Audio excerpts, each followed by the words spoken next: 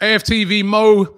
Um, first of all, I want to say congratulations. I know that you had a little baby. Um, actually, last week wasn't it when I went to get you on the fan cam? Mm. You said, uh, "Robbie, sorry, I can't do it right now. I'm in the hospital." I was like, "Oh, yeah, it's coming, it's coming." So right? Monday, six forty a.m. on the first of March, the next Bukayo Saka was born. So, yeah, I'm just in um, I'm just in dreamland at the moment. It's like nothing else I've ever experienced. I've just uh, yeah, it's fantastic. Love with the little guy, and Arsenal could have done whatever the hell they wanted.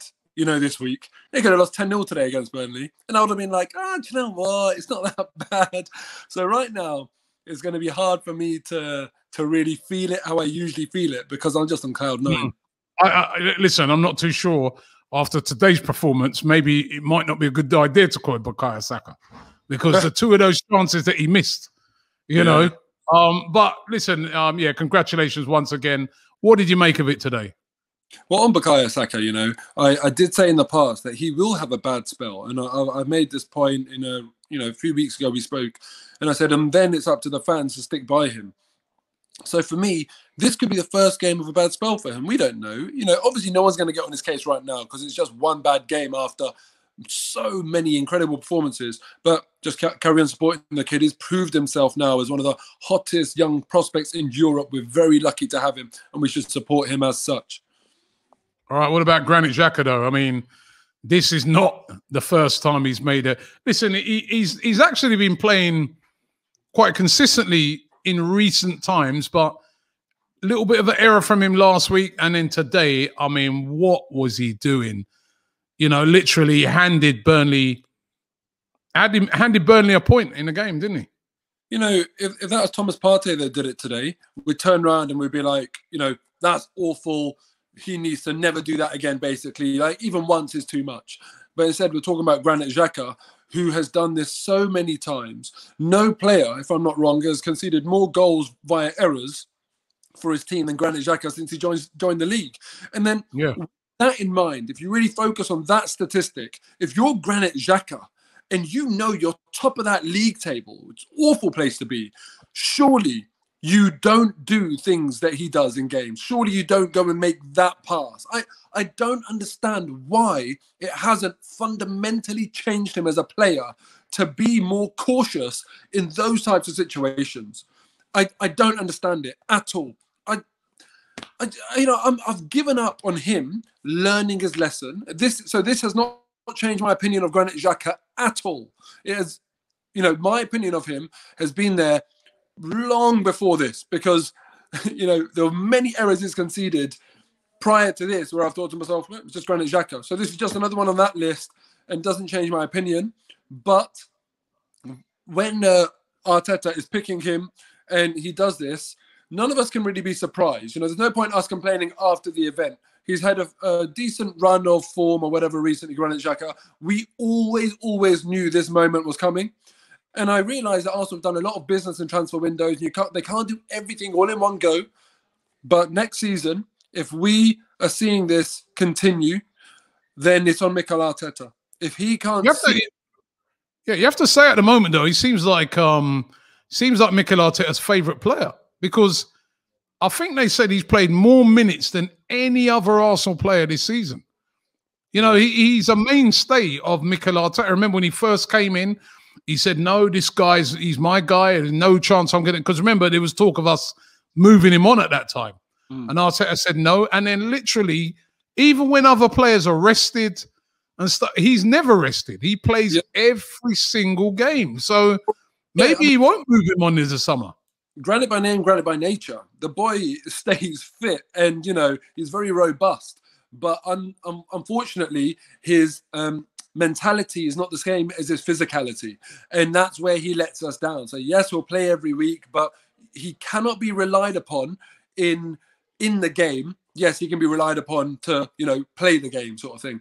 Now, I I just get fed up of it, Robbie, because you know, today we can talk about various things. We can either talk about the fact that Granit Xhaka made the mistake. We can either talk about VAR, we should have had a penalty. We can talk about the missed chances there's various various factors right but the ones that we're in control of in my opinion that i mean the chances that we had we should do better with 100%. VAR, we don't have any control over, but picking Granit Xhaka is very much under our control. He should absolutely be moved on. When a lot of people were trying to say, like, oh, look, you know, what the fans know, Granit Xhaka has been incredible the last, you know, 10 games or whatever. You know, I'm just kind of silent, silently sitting there saying, okay, we'll see. You know, it will happen. And, you know, it will be the same with someone like David Luiz, in my opinion. There will be another error, you know, a big error, very unforced um, later on down the line. Willian, I expect him to go on to bad form or whatever. And it's just these sorts of things where if you want to be a killer club, if you really want to be a killer club, we should not be giving this level of grace to senior players. Where they're young prospects, especially out of our academy, I would say yes, give them that extra bit of time and support. Even if it's a young prospect like Saliba, not from our academy, I'd say, look, they're learning their trade, they'll learn from it these senior players, we need to understand right now this is part of their makeup. They're not going to change. All right, let me. Um, you touched on it, so before we go there, we got I got to ask you about it because everybody's been talking about it today. Even a lot of the guys that don't normally go on about um, refereeing decisions and VAR and that, but the penalty that wasn't given that seemed pretty obvious to everybody um, what did you make of it? Well, it's just a clear penalty, isn't it? But but Robbie, I remember you and I in the uh, recently we kind of said to each other like we actually don't know what the handball rule is anymore. It, it's it's honestly it's baffling. I, and that I, cements it today. I, even if I was starting to think, all right, well maybe now I do now today after today's decision, I am one hundred percent not sure what a penalty for a handball is.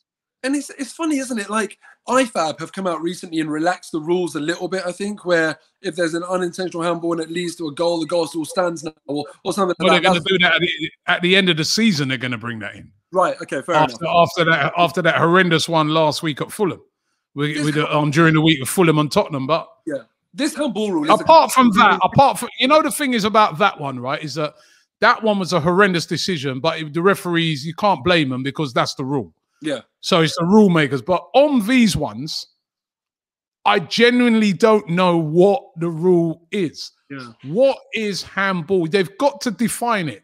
They've yeah. got to define it so that we know. Remember before we used to know that if it's not deliberate, it's not handball. Yeah. But now I do not know. People are saying um, we've heard this a lot of this season about hands being in an unnatural position. Now, as I've been kind of making the joke in a lot of the fan cams that the only unnatural, the only natural position his arms could have been in if he was trying to be in an aeroplane or a hmm. glider or something with his hands wide out. Yeah. So yeah. how is it, it's just very frustrating that it wasn't given. There's no really, consistency. Yeah, it's really clear to all of us today that yes, that should have been a penalty, and it's frustrating because VAR went and got it bang on with um, the goal line clearance from Pieters. Yeah, yeah, because he hit his shoulder. You can see that was a correct decision. Yeah, and, that's VAR at its best. Yeah, you got to hand it. And then you see VAR at its worst. That you know, in in this the other case. Yeah, you got to hand it to Pieters' incredible goal line clearance, and it worked perfectly. But it's just Arsenal's luck, isn't it? Why do we never get the rub of the green? But we have to say, we did not lose today because of VAR. No excuses. We lost today because of defensive error and poor finishing. That's why we lost today. We had the chances to win the game. So we have to look at ourselves. But what I would say, I'm not as downbeat today because we were bashing that door down. We were bashing that Burnley door down. At least we saw a real uh, desire and ability to win the game. Whilst in previous games, I've thought to myself, we just got that through the skin of our teeth, for example. So positive signs. Hopefully, we iron out the inconsistencies in our team that come by virtue of people like Granit Xhaka, and hopefully VAR irons out their consistencies, and we're in a better place this season. But a win or a draw in this game against Burnley in the Premier League this season means nothing because our Premier League season is over. If this happens in the Europa League, different story. That's the one we need to win. Okay, well, Mo, listen, once again, congratulations. I can hear Zara calling you there. You've got some nappies to change. So, um, but congratulations once again. Cheers, man. Appreciate it. Take care. Thank you. Today's show is sponsored by Profit Accumulator the UK's number one match betting service. So, what is match betting? It's a method that's used by individuals to profit from free bets and incentives offered by bookmakers. By leveraging one bookie's offer against another bookie's offer, it's possible to ensure that the odds are in your favor. And when you sign up to Profit Accumulator, they will walk you through how to do match betting with their easy to follow video guides. Profit Accumulator have a friendly seven day a week customer support team that will help you with any questions that you might have. So what are you waiting for? Click the link in the description and you can start your Profit Accumulator journey today and you won't regret it.